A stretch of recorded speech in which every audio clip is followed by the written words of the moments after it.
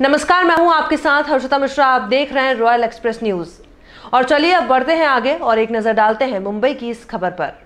मुंबई के कलीना विधानसभा अंतर्गत भीम छाया सभागृह में कांग्रेस सेवा दल का चार दिवसीय प्रशिक्षण कार्यक्रम आज समाप्त किया गया।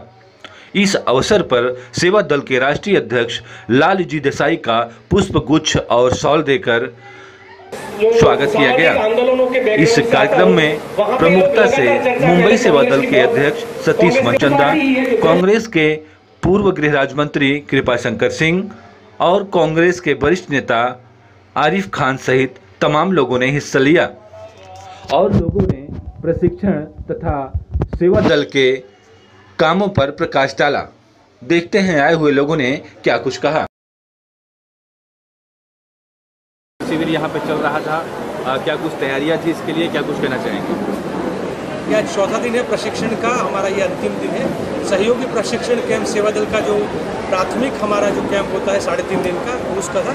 अभी सेवा दल में पाँच स्तरीय प्रशिक्षण कैंप देश भर में चल रहा है। और ये मुंबई के अंदर का दूसरा प्रशिक्षण कैंप है। एक हफ़्ते पहले भी इधर एक प्रशिक्षण कैंप हुआ और ये दूसरा है। आगे जाके हमारा समर्थ करके उसके अगले स्टेप का प्रशिक्षण कैंप होगा। मुख्य तौर पे सेवा दल के साथ ही आने वाले सिर्फ़ चुनाव की तैयारियाँ नहीं, पर पूरे भारत के अंदर जिस प्रकार से आज माहौल है, देश के संविधान को कमज़ोर करने का, देश के जो मूल मुद्दे हैं, शिक्षा, स्वास्थ्य, रोज़गार, स्वावलंबन और सुरक्षा, इन सब मुद्दों को भटकाकर जिस प्रकार से नरेंद्र मोदी और अमित शाह की ये दोनों की जोड़ी ने मिलकर देश के अंदर आज एक माहौल बनाया है कि लगातार एक भय का माहौल मुद्दों की भटकने की राजनीति जो कर रहे हैं उसके खिलाफ हम लोग मिलकर जनता के मुद्दों की लड़ाई लड़ने के लिए सेवा दल को तैयार कर अभी अपने अभिभाषण में कृपा शंकर ने कहा कि हर कांग्रेसी को ज़रूरी है कि सेवा दल से प्रशिक्षण ले तभी वो चुनाव लड़े तो इस पर आपकी क्या प्रतिक्रिया है?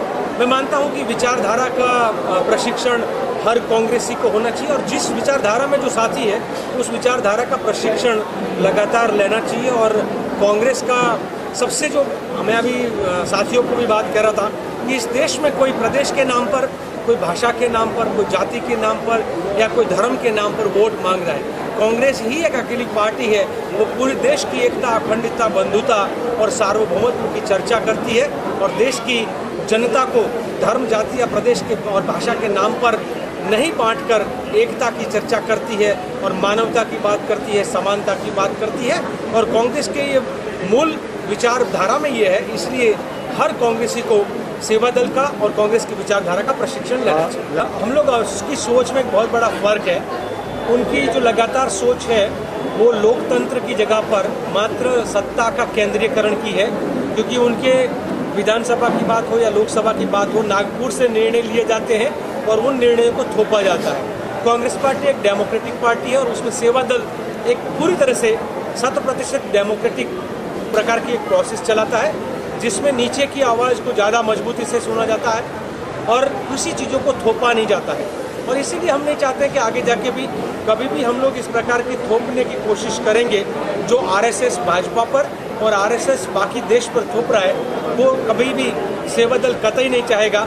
सेवा दल लगातार जनता के मुद्दों की बात करेगा, देश की भावनाओं के बारे में बात करेगा, हमारे देश की जो संस्कृति है, सबको साथ लेके चलने वाली, उसके बारे में बात करेगा। इसलिए हम इवन बात निकल के आती है कि चुनाव में बिना प्रशिक्षण को कांग्रेस का टिकट नहीं मिलना चाहिए, ऐसी जब बात आती है तो लगातार ये भी कहेंगे कि हर चीज़ को कंपलसरी करने से कभी भी वो अंदर से कोई बदल नहीं सकता है। तो ये विचार के बदलने की बात है उसको कंपल्सन वाली बात में नहीं लेना चाहिए। सर सेवा दल आ, सेवा दल की बात करें किन किन राज्यों में ये सेवा दल कार्यरत है और कहाँ कहाँ है क्या कुछ कहना चाहेंगे? कितनी संख्या में ये कार्यकर्ता हैं सेवा दल? मैं ये पिछले साल काफ़ी लोग मुझे सवाल जब पूछ रहे थे तो मैंने तब कहा था कि हम करीबन डेढ़ लाख के आसपास देश भर के अंदर सेवा दल के हमारे सक्रिय साथी हैं। करीबन सत्तर हज़ार सेवेंटी थाउज़ेंड जो युवा नए हमारे साथ जुड़े हैं, जो सेवा दल का यंग ब्रिगेड है, blue jeans, white T shirt और स्पोर्ट्स कैप्स के साथ, एक पूरे नए ड्रेस कोड्स के साथ हमारा सेवा दल का यंग ब्रिगेड भी है।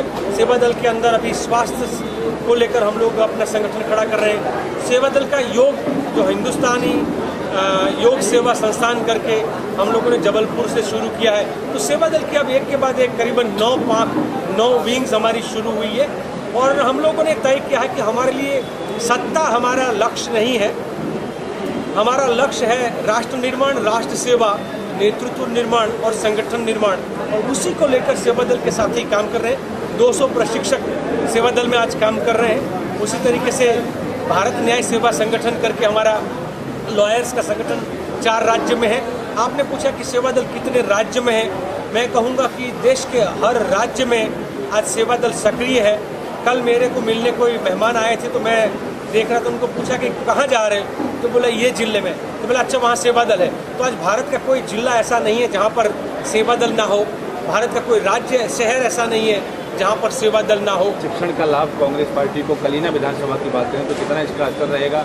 कितना लाभ मिल पाएगा? यहाँ पर जो प्रशिक्षण दिया गया है जो 60 साल में कांग्रेस ने क्या किया जो घड़ी घड़ी बीजेपी वाले प्रश्न करते थे, उस सारे प्रश्नों के उत्तर बताए गए हैं, ताकि सेवा दल के कार्यकर्ता अपने अपने क्षेत्रों में जाके, अपने अपने चुनाव क्षेत्रों में जाके लोगों को बताएँ कि जिस समय देश आज़ाद हुआ था, उस समय हमारे घर कैसे थे, आज हमारे घर कैसे हैं। उस समय हमारे पास क्या क्या निर्माण होता था?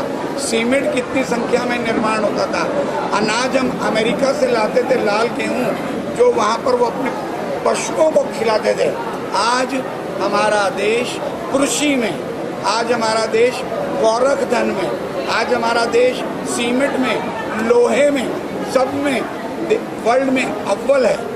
इसके साथ साथ कांग्रेस ने बढ़ती आबादी को देखते हुए इतने इंडस्ट्रीज़ का निर्माण किया कि लोगों को रोज़गार मिल रहा था। परंतु आज रोज़गार खत्म हो रहे हैं। युवाओं को नौकरी नहीं है। यही संदेश इस ट्रेनिंग के माध्यम से हम लोग जगह जगह में लोगों के पास पहुँच रहे हैं। धन्यवाद। धन्यवाद। थैंक यू की तरफ़ से। कितने दिन तक ये शिविर चला और क्या कुछ असर रहेगा कांग्रेस के लोगों पे? ये प्रशिक्षण शिविर आज से ही कई सालों से जब से देश आज़ाद हुआ है, उसके बाद से कांग्रेस सेवा दल हमेशा से आगे रहता है और हमेशा देश के प्रति सेवा एक जो श्रमदान कहते हैं, उसे हमेशा देते रहते हैं। इसी की कड़ी में आज हमारे इस जिला के अंदर एक जो सेवा दल का प्रशिक्षण शिविर पिछले चार दिनों से चल रहा है, आप देख रहे हैं, आज इसका समापन दिवस है। भारी संख्या में सभी हमारे जितने भी सेवा दल के साथ हैं, इसका प्रशिक्षण शिविर लिए हैं, आज उनको यहाँ पर सर्टिफिकेट भी दिया जाएगा। राष्ट्रीय अध्यक्ष भी आए हुए हैं। तो काफ़ी अच्छी तरह से लोगों ने इसको सुना है सीखा है और आने वाले चुनाव में ये संदेश लेकर पूरे इलाके में जाएँगे। और मैं समझता हूँ कि जो सही मायनों में जो एक देश के प्रति जो भावना होनी चाहिए वो हमारे सेवा दल के अंदर है और वो हमेशा आगे लेके जाएँगे। Thank you sir thank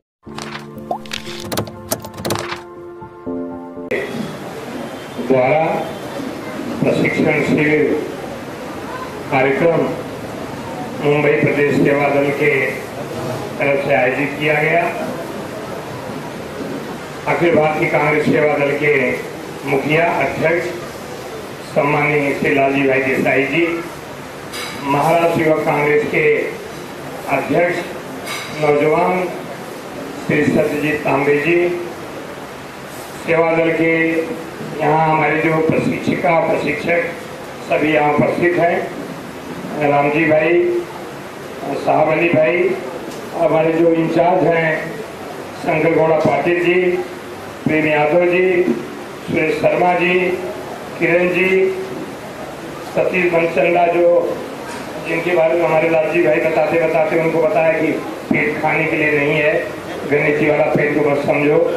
Amina बहन, पुष्पा अहिरवाल, राजेश हमारे दूसरे रहीम खान धनंजय तिवारी, श्याम ठक्कर, यशवंत ठाकुर, दूसरे हमारे जो इस जिला के नाम नाम हाँ बहन तो पहले उस दिन आए थे हमारी इस जिला सेवा दल के प्रमुख देवदत्त उनके सभी साथी। और मैं यहाँ सेवा दल प्रशिक्षण शिविर में उपस्थित उन लोगों का भी नाम लेना चाहूँगा। जो पीछे खड़े होकर के, कभी पीछे बैठ करके सारी व्यवस्था देखते हैं। उसमें एक नाम है कृपाशंकर पांडे, कांग्रेस पार्टी के और सीनियर लीडर हैं। जब से शिविर की शुरुआत हुई, उनके साथ सभी यहाँ इस इलाके के ब्लॉक अध्यक्ष हैं उपस्थित। पप्पू यादव भी हैं, राजा पवार हैं, हमारे गैब्रियल डिवेलो हैं, फिर दूसरे हमारे रामचंद्र मौर्या हैं। सभी यहाँ हमारे जो ब्लॉक कांग्रेस के अध्यक्ष हैं, बेसिक के, सब यहाँ उपस्थित हैं। और खास करके आशीष रोड़े, भीम छाया, सांस्कृतिक सेवा केंद्र जहाँ लोग उपस्थित हैं।